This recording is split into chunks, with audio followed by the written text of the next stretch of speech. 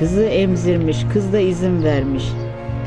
Bir gün birbirlerine bağlı bulunmuşlar. İkisi kazığa bağlanıp yakılmışlar.